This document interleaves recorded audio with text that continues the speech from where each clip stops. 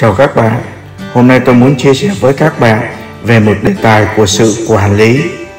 Quản lý bằng cách những từ đơn giản là gì? Cách đơn giản bằng tiếng Anh, tiếng Việt có một định nghĩa cho quản lý.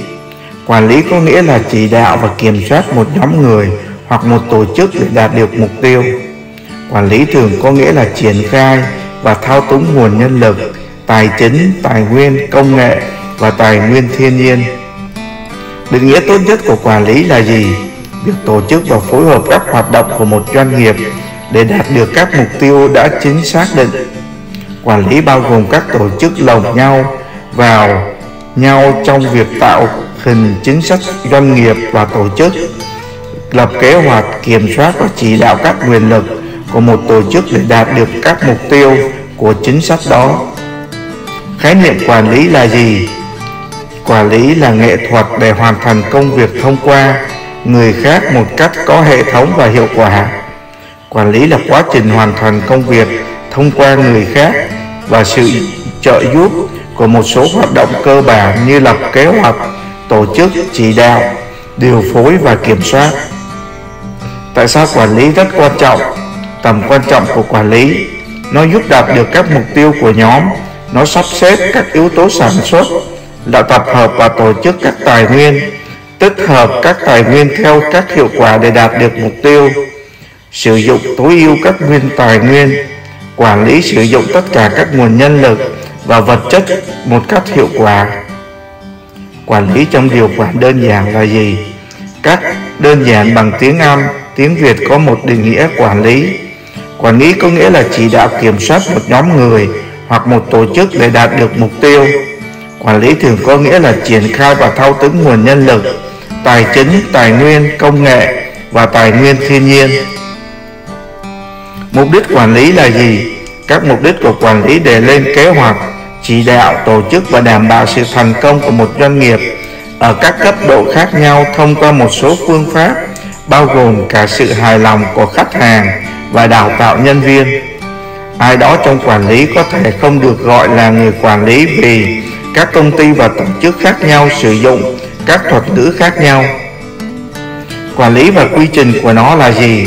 Quy trình quản lý là một quá trình thiết lập mục tiêu, lập kế hoạch và kiểm soát tổ chức và lãnh đạo việc thực hiện bất kỳ loại hoạt động nào. Chẳng hạn như một dự án, quy trình dự án hoặc một quy trình dự án, đôi khi được gọi là hệ thống quản lý và đo lường hiệu suất quy trình. Tại sao chúng ta học quản lý? Quản lý dạy chúng ta hiểu vào mọi người cư xử trong các tổ chức và bản chất của quyền lực, ảnh hưởng và lãnh đạo, khám phá các vấn đề phản đối đối mặt với các cá nhân và hành động tại nơi làm việc ngày hôm nay. Có nhiều lý do để học quản lý. Có gì là quản lý giải thích với ví dụ, định nghĩa của quản lý và cách sử dụng một cái gì đó, xử lý cẩn thận kỹ năng giám sát hoặc những người phụ trách một doanh nghiệp hoặc nhóm. Một ví dụ về quản lý là một cách một người xử lý tính, chính cá nhân của họ. Một ví dụ về quản lý là sự thể hiện sự quan tâm khi xử lý một thứ dễ vỡ. Chức năng quan trọng nhất của quản lý là gì? Trong khi có nhiều chức năng khác để quản lý hiệu quả, lập kế hoạch, tổ chức, chỉ đạo và kiểm soát là bốn chức năng chính của quản lý nên được coi là quan trọng nhất. Học cách cân bằng đồng thời cả bốn chức năng sẽ dẫn đến quản lý hiệu quả. Chức năng chính quản lý là gì? Chức năng của người quản lý. Các nhà quản lý chỉ không đi ra ngoài và thực hiện trách nhiệm của họ. Các nhà quản lý giỏi khám phá cách làm chủ năm chức năng cơ bản, lập kế hoạch, tổ chức sắp xếp nhân sự, lãnh đạo và kiểm soát. Quản lý và chức năng của nó là gì?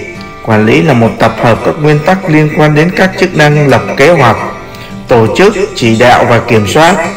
Các ứng dụng của những người nguyên tắc này trong việc khai thác vật lý, tài chính, nhân lực, nguồn lực và cung cấp thông tin một cách hiệu quả và hiệu quả để đạt được mục tiêu của tổ chức nhớ subscribe để xem video kế tiếp. Cảm ơn.